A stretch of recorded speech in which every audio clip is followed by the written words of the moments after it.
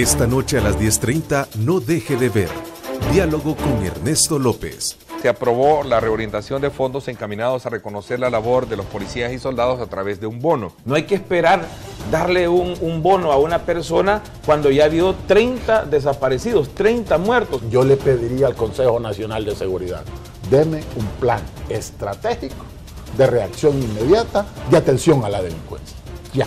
Realmente es un dinero que si bien es cierto va a venir a apuntalar sus deudas, pero no lo va a sacar de la crisis y al día siguiente esta persona, estos miembros efectivos policiales y de la Fuerza Armada estarán como dos días antes. Antes de pensar en cómo vamos a financiar la seguridad, tenemos que definir qué es lo que vamos a financiar. El Consejo debería de emitir una opinión sobre dicho plan, sobre cuáles son las políticas y las acciones que este plan conlleva. Había entendido toallas para poder descansar.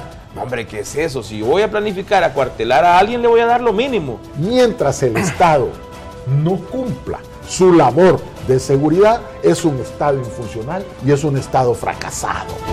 No se pierda Diálogo con Ernesto López, solo por Canal 21. Tome el control.